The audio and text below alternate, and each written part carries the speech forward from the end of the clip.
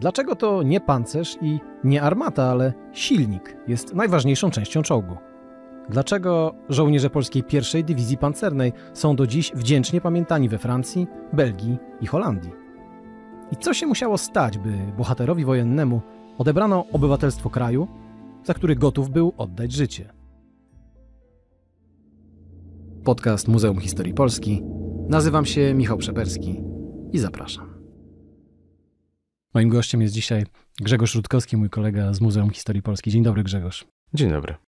Grzegorz, wszyscy w Polsce, obawiam się, znają Janka Kosa, bohatera Czterech Pancernych i Psa, filmu propagandowego w gruncie rzeczy, pro, propagandowego filmu dla młodzieży z lat 60.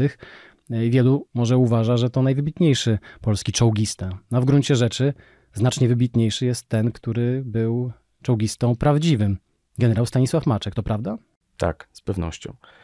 Generał Stanisław Maczek e, dowodził pierwszą dywizją pancerną. To był e, wielki związek taktyczny polskich sił zbrojnych na zachodzie oraz także dowodził innymi jednostkami e, pancernymi zmechanizowanymi w II wojnie światowej.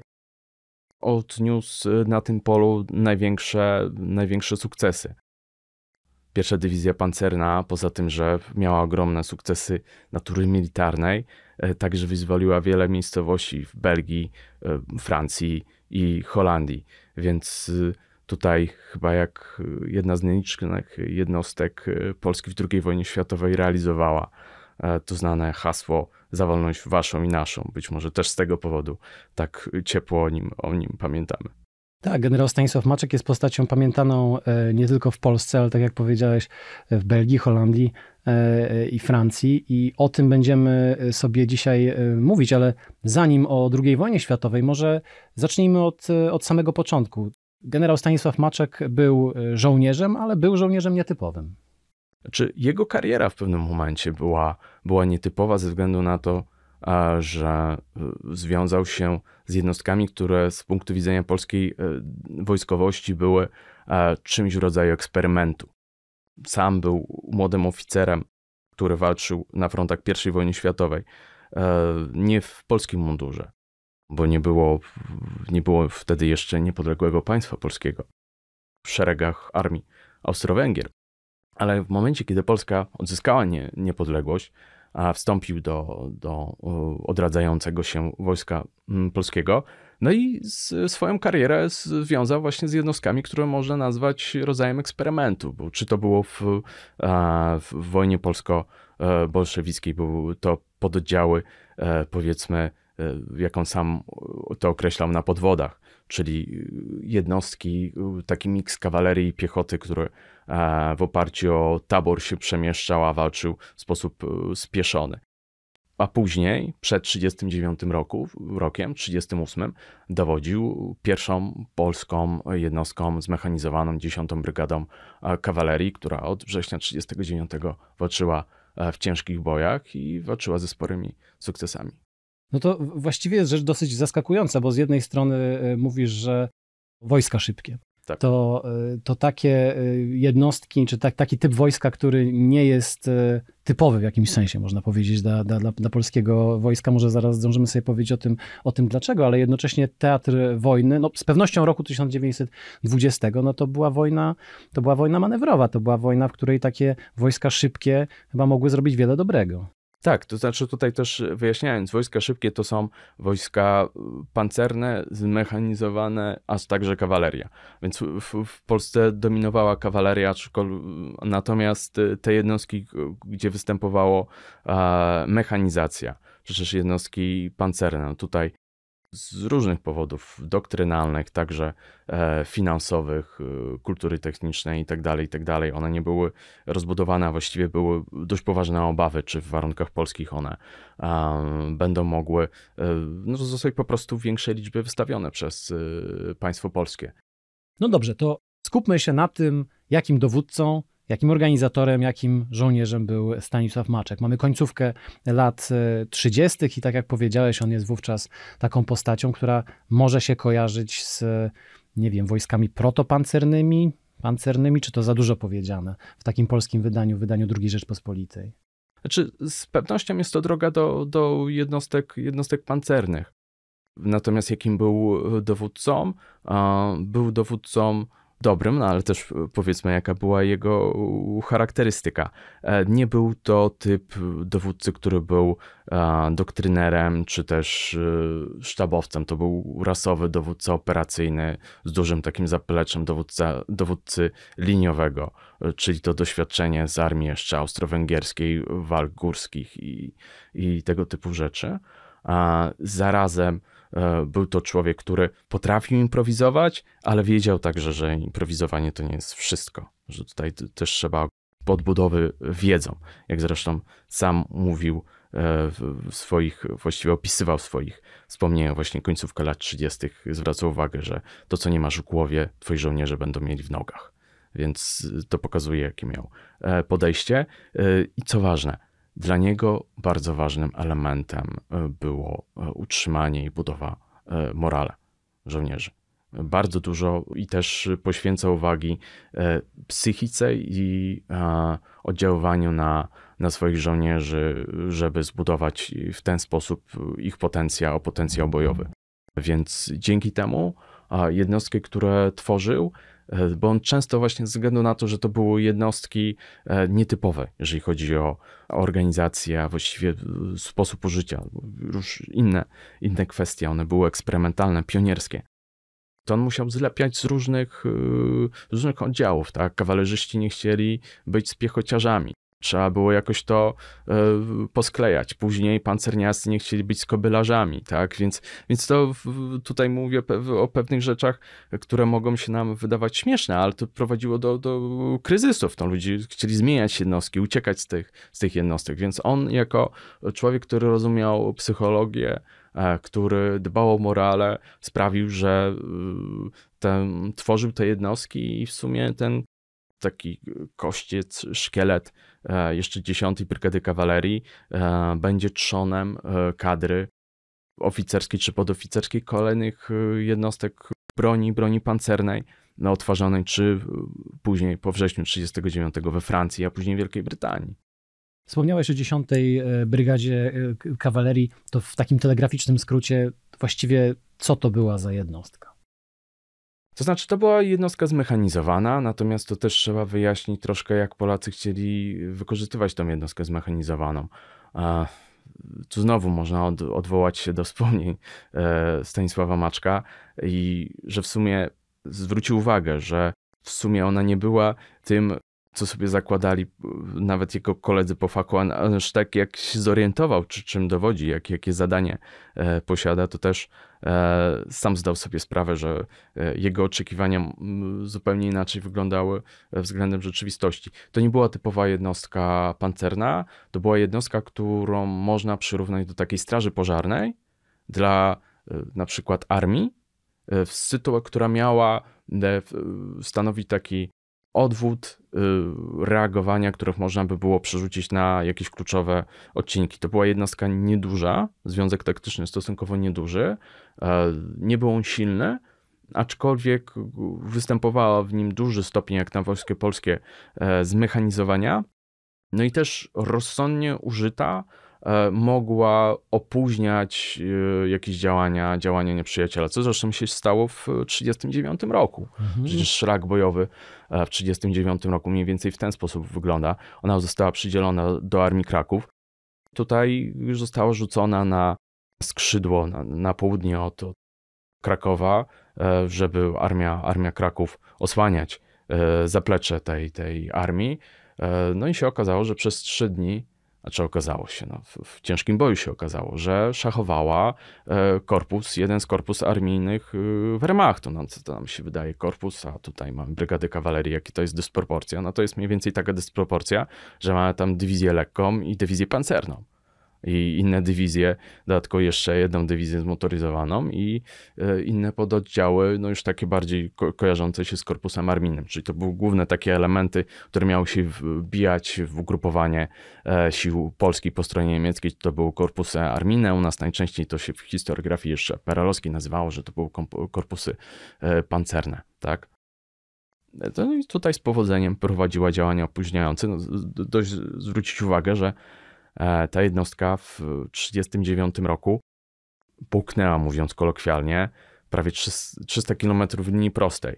E, no, to, to nam się wydaje, że to nie jest jakiś gigantyczny dystans, ale dla jednostki, która jest, y, musi działać w boju, operować, jest cały czas oderwana od zaplecza. Fakt, że to się nie rozpadło samym tym marszem, tak forsownym działaniach bojowych, to też pokazuje, że to, byli, to była dobra kadra, formowana tak, że właściwie to już te ostatnie szlify nadał je właśnie Stanisław Maczek. No ale y, jedna nawet tak niezwykła y, jednostka jak 10. Brygada Kawalerii y, wojny obronnej Polski w roku 1939 wygrać nie mogła. Co się dzieje z Maczkiem po przegranej w wojnie obronnej Polski? Czy jego los jest y, podobny jak los wielu oficerów y, Wojska Polskiego? 19 września jednostka przekracza granicę, to też y, warto zwrócić uwagę, e, jednostka przekracza granicę jako zwarty pododdział, więc nie, nie, nie zostaje rozbita. Mm, natomiast no, rzeczy ona już nie może dotrzeć do Francji, bo tam się formują oddziały Wojska Polskiego. I takim celem e, wszystkich oficerów, wszystkich żołnierzy wojska polskiego jest, jest właśnie kierunek Francja, tylko to, ta droga prowadzi przez Węgry, Rumunię. No i tutaj y, Maczek już w cywilnym ubraniu, nazwisko, z dokumentami na nazwisko Tłumaczek, to też pokazuje, że miał dystans do siebie i poczucie humoru, e, dociera do, e, dociera do, do Francji i tutaj jest orędownikiem e, stworzenia jednostek pancernych, nie tylko ze Szamon, tam dowodzi polskim e, ośrodkiem szkoleniowym e, w Brytanii. Wcześniej jest mu nawet proponowane dowodzenie przez krótką chwilę przez, przez generała Sikorskiego pierwszej dywizji, e, no ale sam uznaje, że odtwarzanie właśnie jednostek pancernych to jest, to jest jego, jego dążenie i tutaj chce mm, swoją karierę kontynuować. To tworzenie y, armii, czy odtwarzanie w jakimś sensie, a częściowo tworzenie y, armii polskiej we Francji to są lata 39-40, ale znowu e, też i finał tego tragiczny, bo e, Francja dosyć szybko, a na pewno znacznie szybciej niż się wszyscy spodziewali, przegrywa e, kampanię z, z Niemcami, no i Maczek znów musi uciekać. Tak, tak, tak. Tutaj też jest sytuacja o tyle zawiła przez długi okres czasu formowana jednostka już jako 10 Brygada Kawalerii Pancernej e, ma problemy sprzętowe. Mm, nie dostaje wystarczającej liczby ciężarówek, dział przeciwpancernych, artylerii, no i samych, samych czołgów. No, pierwsze czołgi to są Renault FT-17, czyli mniej więcej te same czołgi, które e, pod koniec I wojny światowej służą w armii francuskiej są takim zaczynem dla, dla armii polskiej, polskich e, wojsk pancernych. Ale tutaj większość tam dygresję, więc sprzęt dociera w, na bardzo późnym etapie, e, już w momencie, kiedy trwała kampania e, francuska 40 roku, to, to, to w, tym, w tej formie, tej odsłonie kinetycznej, czyli maj, czerwiec 1940 roku. Kinetycznej to znaczy? To znaczy, prowadzone są od 1939 roku, ma miejsce dziwna wojna, czyli działania mają raczej charakter statyczny. To są działania lotnictwa, ostrzał artylerii, działania rozpoznawcze, natomiast od inwazji Niemiec na Belgię i Holandię zaczyna się ta główna rozstrzygająca faza, e, ta kampania francuska 40 roku, czyli ma czerwiec tegoż roku.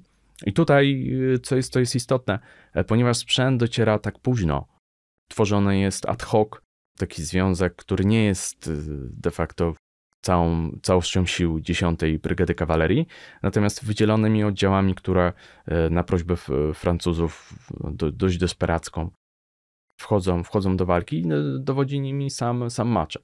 I tutaj jest sytuacja taka, że znowu z walącej się Francji trzeba, trzeba uciekać, uniknąć niemieckiej niewoli, e, przedzierać się z, z serca Francji e, do jakichś najpierw w kierunku portów na zachodzie, bo tam jest ewakuacja organizowana. Ostatecznie Maczek tutaj także przez kolonie francuskie dociera do Wielkiej Brytanii. No i w sumie tutaj znowu jest, jest koncepcja, czy tworzyć jednostkę pancerną i jaką. Mm, ostatecznie po, po różnych sztabowych przepychankach, to przepraszam że za takie y, określenia, aczkolwiek to, to można mniej więcej ucieranie weta w, w kołach wojskowych, zapada decyzja, że będzie powstawała pierwsza dywizja pancerna, czyli już pierwsza polska dywizja wojsk pancernych. No właśnie, pierwsza dywizja e, pancerna to jest, e, jak sądzę, ten, e, ta jednostka, która się z nazwiskiem Maczka mm, najbardziej kojarzy.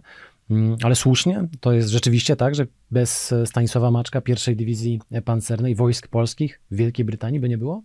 Znaczy, jakaś jednostka wojsk pancernych zapewne by powstała, natomiast tutaj jest, jest kwestia tego, że to nie, nie tylko oczywiście Maczek, ale też y, właśnie jest tutaj wspomniany e, ludzie z jego, z jego otoczenia, oficerowie e, wojskowi, tak. Jak widzimy, kariera e, Maczka, ona jest związana z 30. Brygadą Kawalerii, 9, 10. Brygadą Kawalerii Pancernej, z pierwszą dywizją pancerną, tak. Natomiast no, mamy innych e, dowódców, chociażby no, najbardziej znany. E, już tej działalności historycznej będzie Franciszek Skibiński, e, zresztą też generał, już, już powolnie nadany stopień, który pełni najczęściej przez większość swojej służby funkcję szefa sztabu w kolejnych jednostkach, którymi dowodzi Maczek a także dowodzi e, brygadami w obrębie e, pierwszej dywizji pancernej, tak? Więc e, są teoretycy i są oficerowie, którzy opowiadali się za, za bronią pancerną, aczkolwiek też były przesłanki i były pewne obawy co do tworzenia wojsk pancernych, no głównie ze względu, czy mamy wystarczająco kadry fachowej taka y, pojawiała się koncepcja. Z punktu widzenia Maczka, one były dość, dość płonne, a też istotnym czynnikiem y, było to, że w przeciwieństwie do drugiej RP, y, no tutaj już te czołgi były z Lendlisu, więc kwestie finansowe, organizacyjne brali na siebie alianci. Polacy musieli wykonać ten element najbardziej ważny, ten, który nie dało się kupić za pieniądze, czyli wiedza, doświadczenie, poświęcenie i determinacja. Dobra, to jeszcze tylko w, w, na zasadzie takiego e, uzupełnienia, doszczegółowienia. Mówisz o tym, że mm, sprzęt był z Landlisu, ale tak naprawdę co to oznacza? Jaki to był sprzęt? Pierwsza dywizja pancerna to według etatu to jest mniej więcej 300 e, czołgów, 16 tysięcy żołnierzy, no tam trzy, powiedzmy 44 rok przyjmujemy taki etat, czyli mniej więcej 300 czołgów, 16 tysięcy żołnierzy.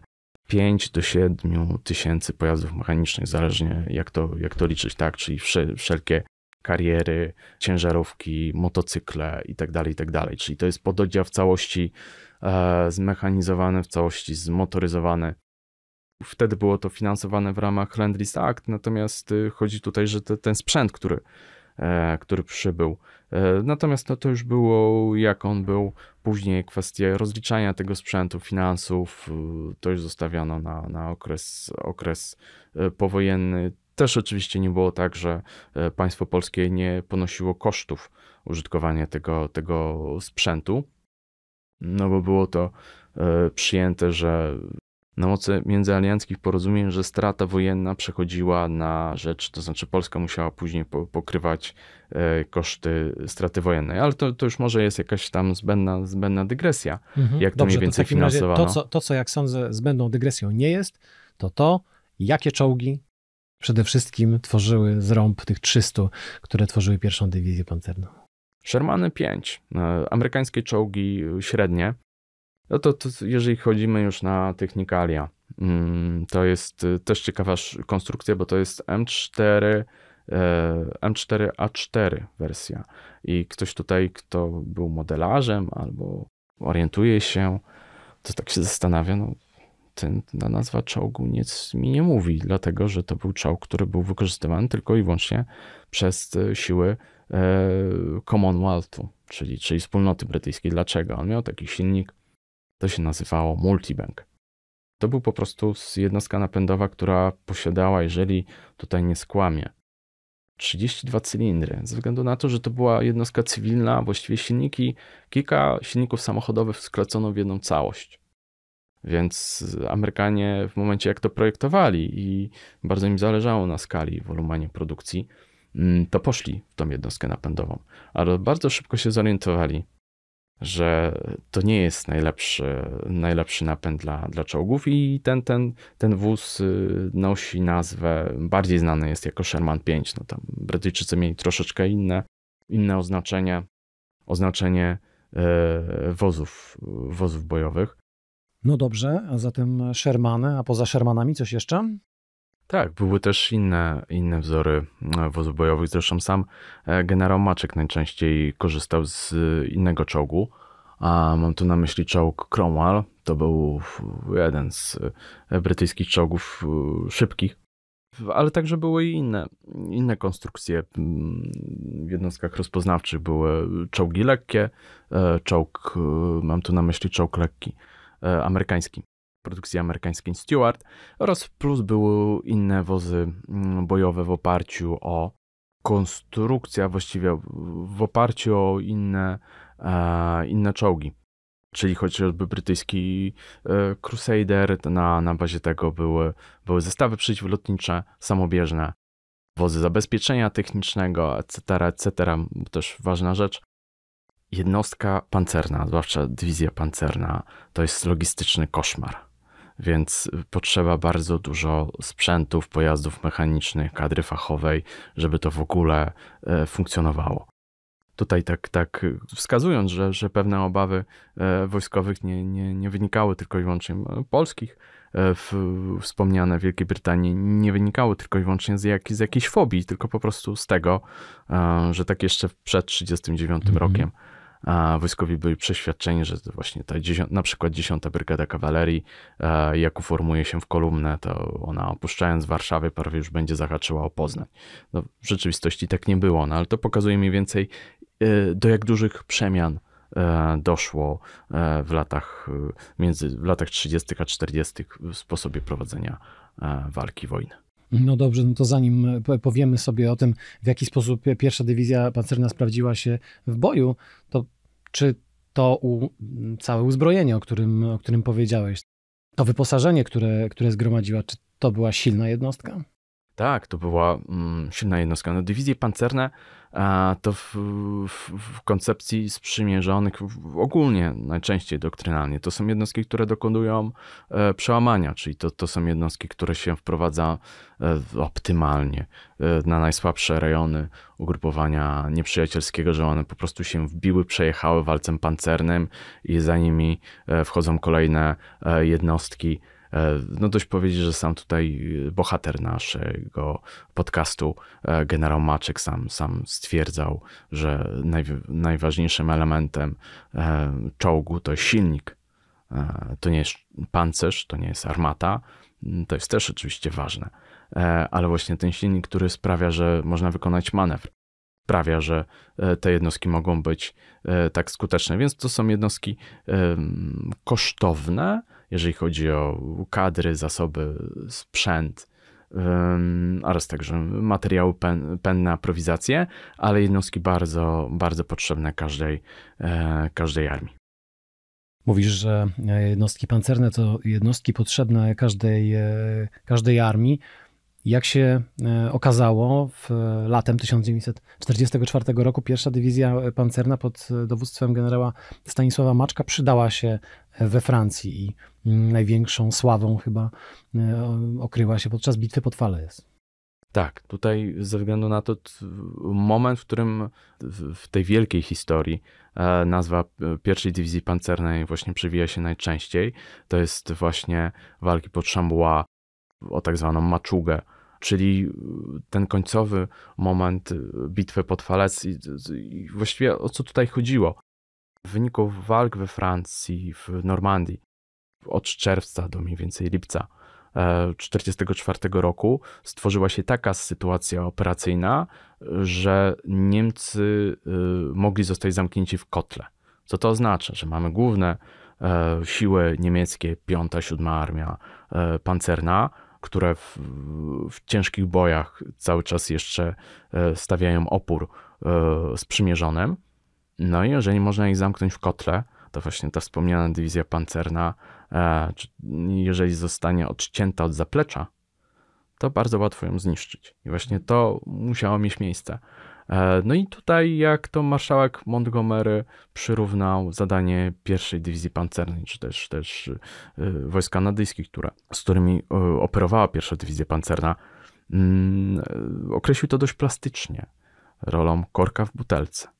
No i właśnie pierwsza dywizja pancerna, jak ten korek w butelce, zagrodziła drogę e, wojskom niemieckim. To oczywiście nie było tak, że część Niemców w desperackim boju się nie, nie przebiła. Oczywiście, że się przebiła. I tutaj też y, występuje pewien paradoks, bo o ile e, w latem 1944 roku dysproporcja sił na korzyść zachodnich aliantów była miażdżąca, o tyle ze względu na to, że Niemcy zdali sobie sprawę, że to po e, pierwszej dywizji pancernej trzeba się przejechać, żeby w ogóle się uratować, przetrwać.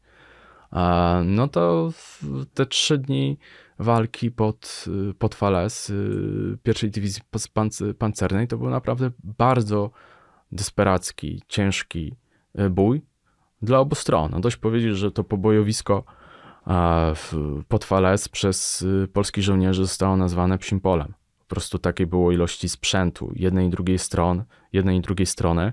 Mm, no i tyle też y, żołnierzy poległych. Też bitwa pod Fales to jest, to jest y, danina krwi e, żołnierza polskiego. No i to też jest bój, w którym e, to polska jednostka musi e, prowadzić działania operacyjne w sytuacji, kiedy to ona ponosi dotkliwe straty ze względu na to, że ta sytuacja operacyjna jest, jest nie jest powiedzmy optymalna, no ale ze względu na e, całość bitwy e, ta rola staje się e, kluczowa, żeby pokonać siły niemieckie i też zakończyć walki w Normandii, ergo zniszczyć główne siły niemieckie we Francji. Po bitwie pod Falaise walka o Francję jest rozstrzygnięta.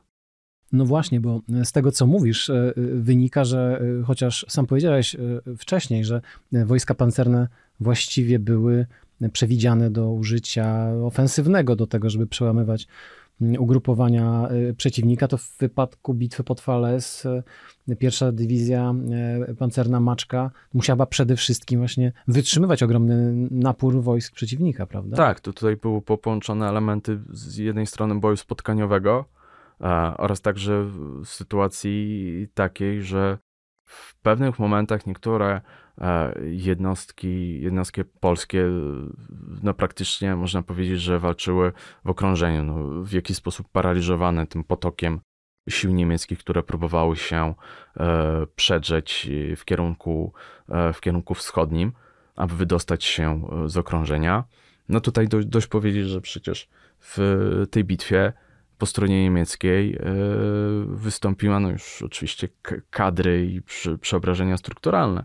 E, druga dywizja pancerna, ta sama, która w tym korpusie armijnym w 1939 roku walczyła jeszcze 10. Brygadą Kawalerii. I o ile w 1939 roku to Niemcy próbowali właśnie e, zrobić to samo, co zrobili sprzymierzeni, zamknąć siły polskie w kotle i zniszczyć, no to tutaj w 1944 roku to siły polskie e, w ramach sił sprzymierzonych zamykały e, te jednostki niemieckie w kotle i je niszczyły. Tak jak powiedziałeś, e, w wypadku bitwy pod, pod Fales, sierpień 1944 roku, właściwie osiągnięcie Maczka było no było bardzo docenione. Pierwsza dywizja pancerna była w jakimś sensie odmieniona przez wszystkie przypadki, tak jak kilkanaście tygodni wcześniej, maj 44, drugi korpus polski i, i sukces Polski okupiony krwią żołnierza polskiego pod, pod Monte Cassino, to chyba sam Maczek chociaż ciepło oczywiście myślał o Fales, zdawał sobie sprawę ze znaczenia tej bitwy, to chyba bardziej jeszcze cenił sobie swoje osiągnięcia z Holandii i Belgii a dokładniej bitwę o Bredę. Pokazuje charakter tego dowódcy, ponieważ tutaj walcząc o Bredę, dzięki wykorzystaniu mm, odpowiedniego manewru w działaniach operacyjnych, e, stworzyła się taka sytuacja operacyjna, że dywizje niemieckie, które były e, w ugrupowaniu, broniły Bredy na swoich pozycjach, Polacy wyszli na niebronione tyły e, sił w mieście. Więc e, Niemcy poniekąd, powiedzmy, zostali e, wykurzeni e, z Bredy. Tam oczywiście też, też były prowadzone ciężkie walki, ale generalnie dzięki kunsztowi operacyjnemu i dzięki manewrowi udało się uniknąć znacznych zniszczeń w tym mieście oraz także oszczędzić y, wielu istnień ludzkich, no osiągając y, powodzenie.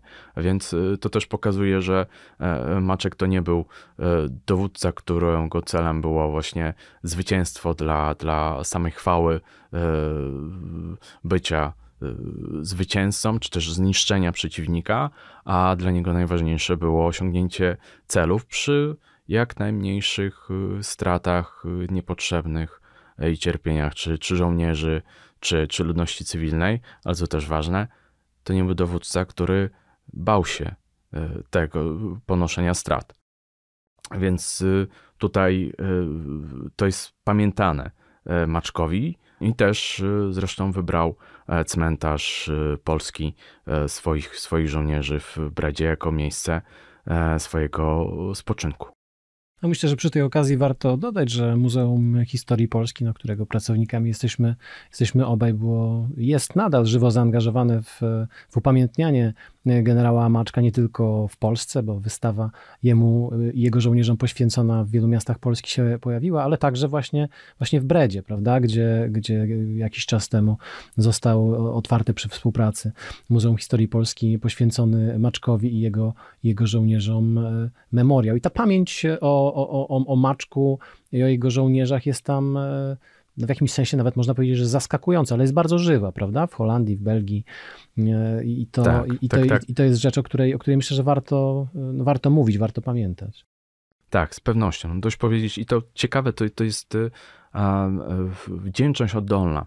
W okresie po 1945 roku, e, gdy Maczek był osobą, którego władza państwa polskiego postrzegała w sposób no, nieprzychylny, zostało mu cofnięte obywatelstwo. I także z tych, tych względów e, władze poszczególnych państw, czy to Wielkiej Brytanii, czy właśnie Belgii, Holandii, e, uważały za powiedzmy kultywowanie pamięci generała Maczka za rzecz troszeczkę kłopotliwą, no bo siłą rzeczy prowadziło prowadziło to do kryzysów dyplomatycznych.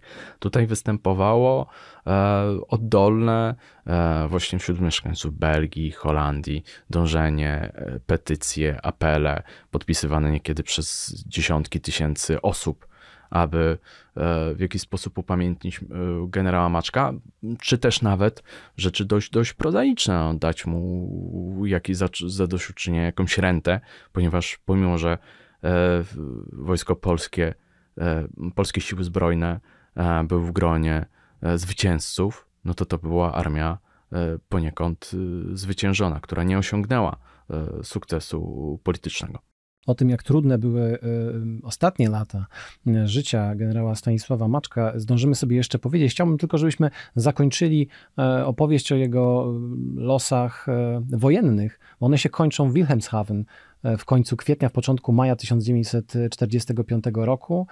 Wilhelmshaven to jest, to jest port północnych, w północnych Niemczech. E, też w jakimś sensie e, symboliczne miejsce, żeby, żeby zakończyć szlak bojowy w, na, na, na zachodnim teatrze działań bojowych.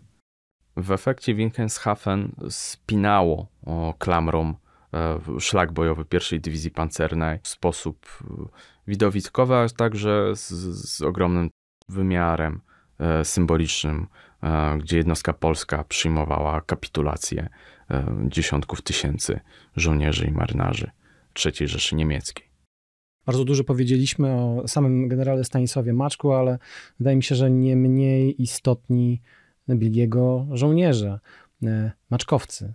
E, powiedzmy o nich, o nich dwa słowa. Zdążyłeś już wspomnieć w naszej dotychczasowej rozmowie, że mm, e, te jednostki Maczka tworzone w Polsce, we Francji, a potem w Wielkiej Brytanii, były w dużej mierze stworzone z podobnego pnia, że rdzeń tych jednostek był dość podobny. Tak, tutaj ze względu, i to też y, świadczy dobrze o generalnym Maczku, że ludzie, którzy z nim wcześniej współpracowali i walczyli cały czas, y, także chcieli kontynuować z nim współpracę, także w sytuacji takiej, kiedy od y, decyzji czyjś decyduje, decyduje życie. To oczywiście nie jest tak, że całość kadry 10 Brygady Kawalerii przeszła do pierwszej dywizji pancernej. Też nie jest tak, że to jest jeden do jednego. E, wspomnieliśmy tutaj e, liczebność, etat pierwszej dywizji pancernej 16 tysięcy, 16 tysięcy żołnierzy.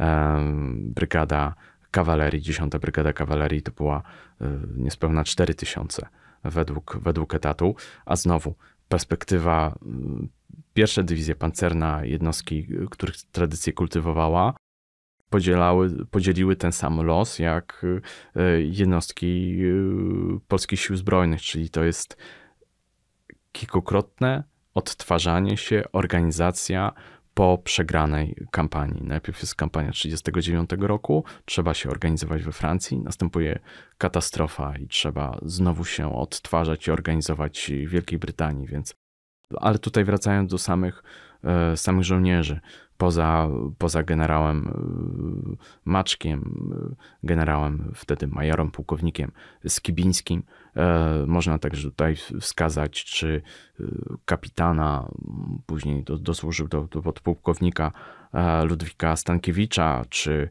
rotmistrza Bogdana Mincera. To, to, to byli żołnierze, którzy są mniej znani, o wiele mniej znani, ale to oni decydowali o tym, na ile ta pierwsza dywizja pancerna a, tworzyła z, zgrany, zwarty, e, zwarty pododdział.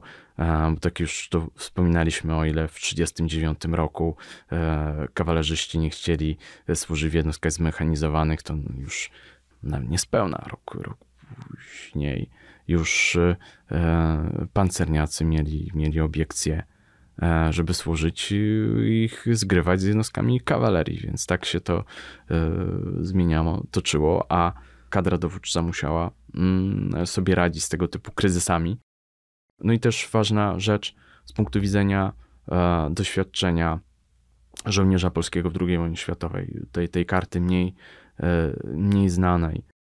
Pierwsza dywizja pancerna to była jednostka, w której służyło dużo Polaków, E, którzy z, z, byli przymusowo wcieleni w, w, do Wehrmachtu, którzy zdezerterowali albo nie mieli takiej sposobności, żeby zdezerterować, ale będąc e, e, w obozie jenieckim, zdecydowali się wstąpić do pierwszej dywizji pancernej, przechodzili weryfikację i tutaj walczyli, a wielu z nich ginęło w 44 czy 45 roku na szlaku bojowym pierwszej dywizji pancernej.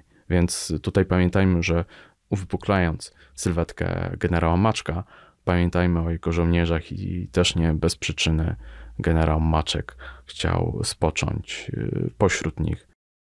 W momencie, kiedy opuszczał nas wszystkich, mógł być pochowany praktycznie w każdym miejscu i jeżeli by tylko miał taką wolę, to nawet i, zwłaszcza, że spinając taką klamrę, y, ten życiorys y, Urodził się, kiedy jeszcze nie było Polski, był świadkiem odrodzenia się Polski, utraty przez Polskę, najpierw w 1939 roku, ponownego jej wymazania z mapy, później w wyniku 40, po 1945 roku utraty suwerenności, ale także doczekał odzyskania przez Polskę pełni suwerenności. Generał Stanisław Maczek zmarł w roku 1994 i trzecia RP e, myślę, że pamięta o nim i kultywuje pamięć o nim i o jego żołnierzach, ale dodajmy już na sam koniec taki wyjątkowo e, gorzki przez wiele lat znoszony przez niego e, fakt, jak to, że w 1946 roku rząd polski mm, zdominowany już wcześniej przez Związek e, Sowiecki, odebrał generałowi Stanisławowi Maczkowi polskie obywatelstwo. E, generał Maczek, który nie wrócił po wojnie do, do Polski, znajdował się w korpusie przysposobienia rozmieszczenia. To była taka organizacja e, wojskowa, która miała się, która na celu miała przystosowanie żołnierzy polskich sił zbrojnych, którzy nie wracali do kraju, żeby w jakikolwiek sposób mogli się odnaleźć w tej powojennej e, rzeczywistości. E, więc tutaj generał także nie, nie mógł liczyć e, na znaczące uposażenie na emeryturę generalską, więc pracował w Edynburgu jako barman, co samo w sobie nie jest niczym złym. Natomiast fakt, że tak wiele państw, które mu zawdzięczały, bo Wielka Brytania, Polska, Belgia, Francja, Holandia, przez bardzo długi okres czasu nie wspierały i też nie, nie zachowywały się tak, jakby e, zasługi, jakby właśnie tych zasług generała Maczka nie było. Tak jak powiedziałem, trzecia Rzeczpospolita o generale Stanisławie Maczku e, pamięta. E, bardzo dziękuję Grzegorz. Moim gościem e, w podcaście Muzeum Historii Polski był Grzegorz Rutkowski, mój kolega z Muzeum Historii Polski. Dziękuję bardzo. Podcastów Muzeum Historii Polski wysłuchasz na YouTube, Spotify, Google Podcast, w Audiotece, a także na innych platformach podcastowych. Chcesz być na bieżąco? Subskrybuj kanał Muzeum Historii Polski.